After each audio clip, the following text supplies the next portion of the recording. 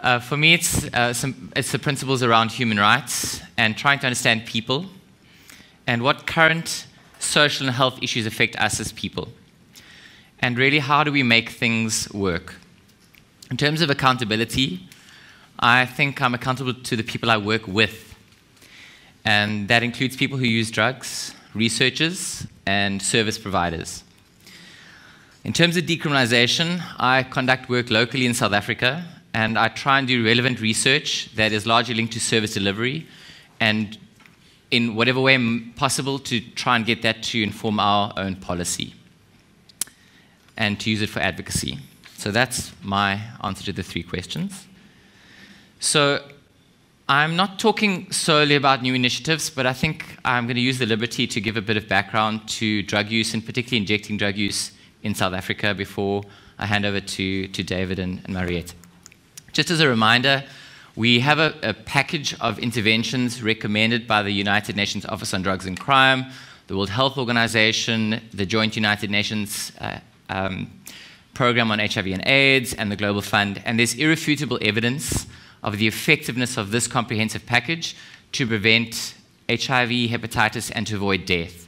So, really, there's no evidence based reason why these things aren't put in place. The reasons for them not being implemented are not evidence related. However, few places are actually implementing the full package.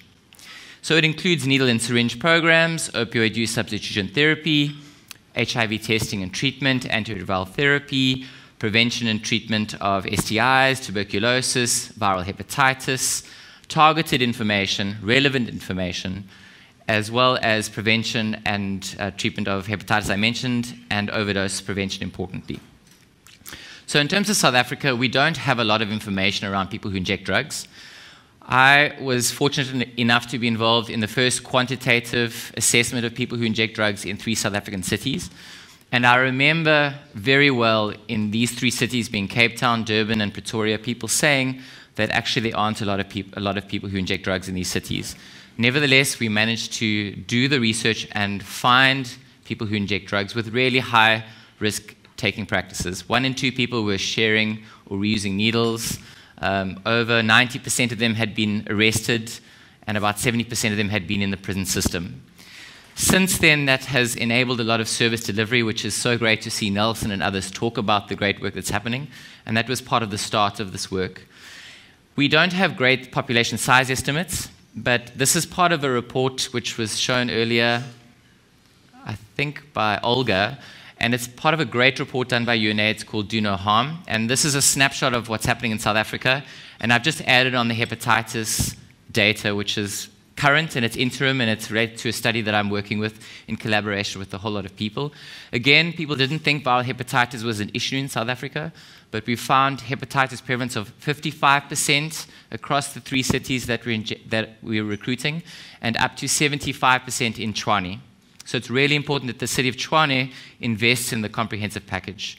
So of the people who inject drugs in South Africa, we estimate there are about 75,000 but that's only a small portion uh, of people who use drugs more globally, in the, in the country at least. And Nyaope and Whoonga are the things that are most important in people's mind, but I keep reminding people that it, those include heroin, and a proportion of people who use heroin will proceed to inject. So even at the moment, it is only 75,000. If we don't get things right and provide services for those people, we're going to have a much bigger problem. And already we know that 14% of those are living with HIV.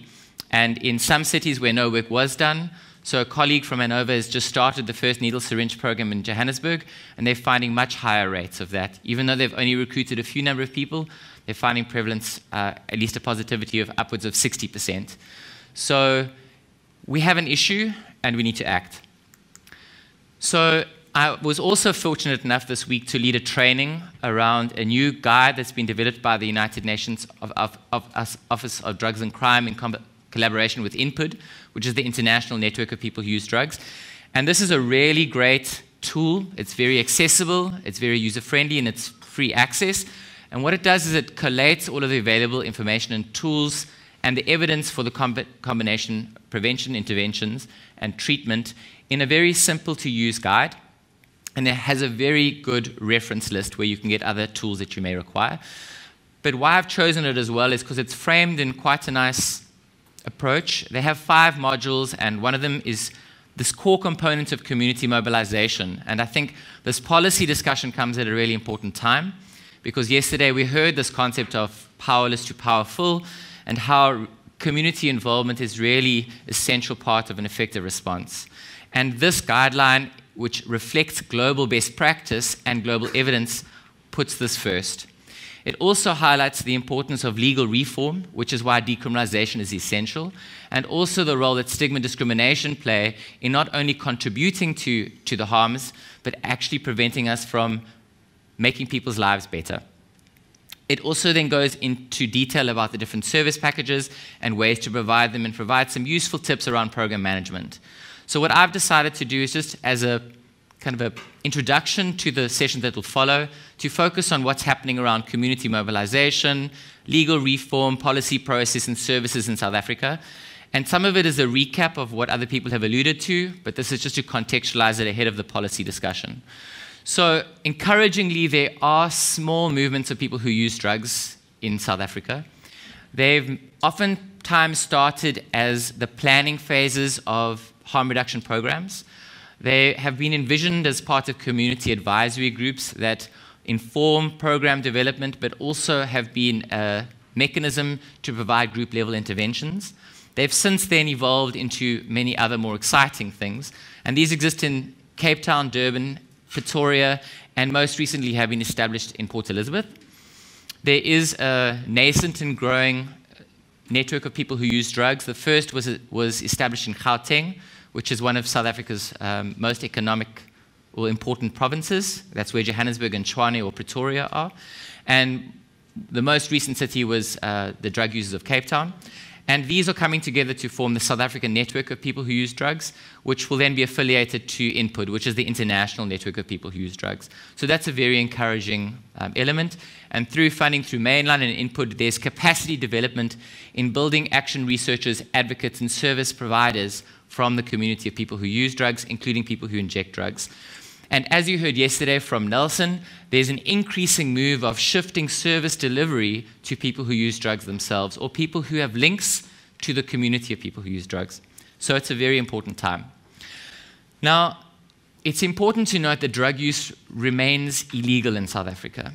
And our criminal justice system, having heard earlier, is based on a a metric of arrest statistics, which is extremely problematic. And there's a societal expectation for increased arrests of people who use drugs, and there's about a 24% increase expected in arrests this year. That's the South African Police's performance target. So we have to contextualize that of what's expected of the police to do in response to what communities, the broader community, not the people who inject drugs, expect of the police. So, as a result of this, we have high levels of human rights violations, and please read the report that will be launched tomorrow, documenting some of these. We have significant barriers to harm reduction interventions. Colleagues in Pretoria have been arrested, some of them have been kept overnight because of distributing evidence based recommended interventions to prevent HIV and hepatitis, and this contributes to wide ranging stigma and discrimination. Encouragingly, there have been some policy discussions with police, particularly in Durban, and I've been very fortunate to be involved in those.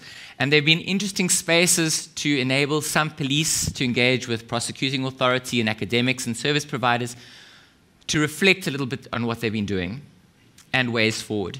There have also been local level engagement with police stations that the organizations involved in harm reduction have done as part of their planning, but also in reaction to some of the negative consequences of community perception of service delivery and also of um, pressure on the police to, to perform.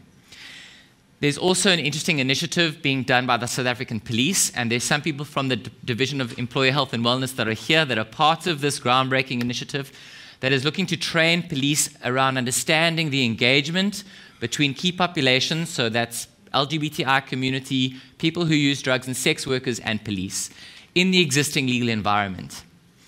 And that is currently being piloted and will be rolled out. There's also been encouraging steps towards inclusion of people who use drugs in policy process. However, it has been flawed. For example, the South African Global Fund concept note developed included people who use drugs, but often the recommendations that came out of that process were not included in the near final draft of the National AIDS um, strategy. Similarly, the uh, sorry, the Global Fund concept note, there was a lot of additional advocacy that needed to happen. Similarly, with the National Strategic Plan, there were a range of community consultations with, with key populations, but very few of those recommendations actually made it through to the final document. So those processes are in place, but it's important to note that key decision makers very high up are vetoing those positions. In terms of legal reform rights and stigma discrimination, there have been policy processes, and this is probably the, the most significant one. But I remember meeting people from IDPC, uh, COACT, and uh, West African colleagues at an ICASA conference a few years ago, talking around HIV and drug use uh, in Africa. And at that stage, we hadn't started any harm reduction services in South Africa, and it's great for us to reflect in the, the wonderful things that have happened. And then ahead of the South African AIDS Council, there was a, there was a conference in 2015, there was a pre-conference around drug use and HIV. There are problems with the policy process. As mentioned, the South African National Drug Master Plan historically has tried to be consultative and speak to communities, but it has historically excluded almost completely people who use drugs. At some times, it has included people who have recovered from drugs, but almostly exclusively limited representation and voice to organizations that have an abstinence only based approach, which is extremely problematic. The National Drug Authority and the, the Substance Abuse Forums similarly replicate that, that there's no place for organizations who talk around the rights of people who want to continue using drugs or people who are still using drugs or who are promoting harm reduction interventions. However, that encouragingly is changing a little bit.